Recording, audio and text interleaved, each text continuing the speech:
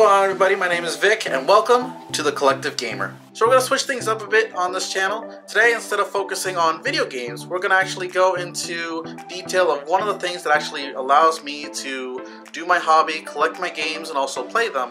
You guys know it, you've probably tried it, you've probably written in one. We're talking about Uber.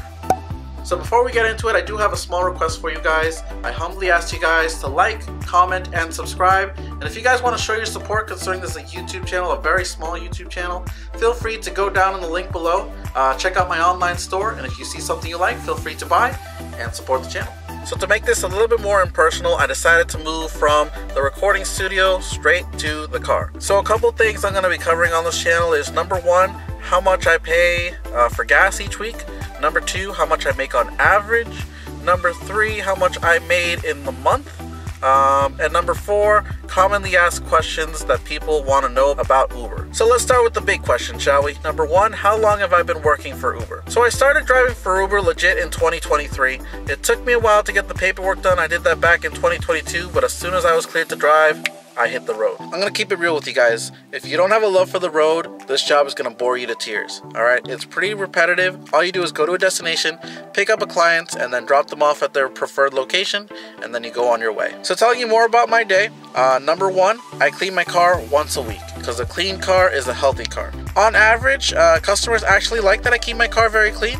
Um, they feel more welcome when the car is nice and clean, and they actually tip more because not only do I keep the car clean, but I try to make them as comfortable as possible. I ask what kind of music they like and stuff like that. Those little things, I kid you not, really mean the most. Now, when you're driving a client, it's pretty straightforward. You'll have different types of people. The first type is the quiet types where pretty much don't say anything. They get in, they say their name, they say hi, how are you, pretty much it, and then they're quiet for the rest of the ride.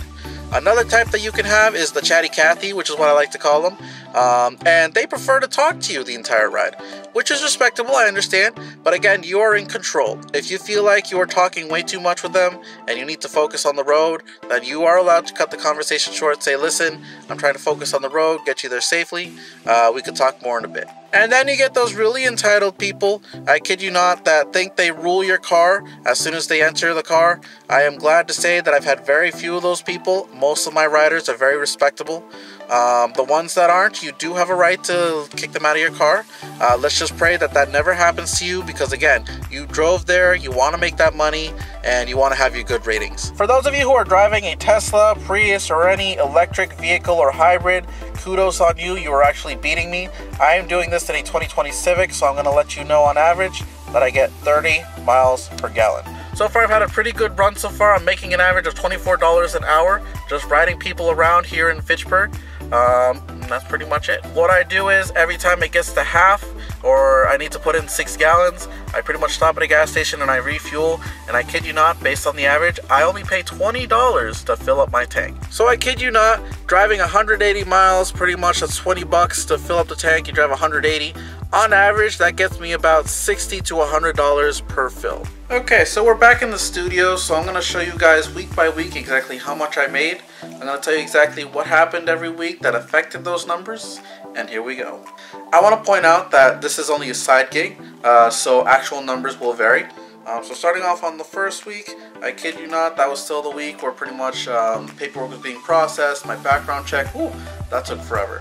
Don't get me started on that. So moving on to the second week of January, that's when we really started to see some numbers. Um, I worked five out of seven days. I took two days off, um, mostly because I didn't want to overwhelm myself.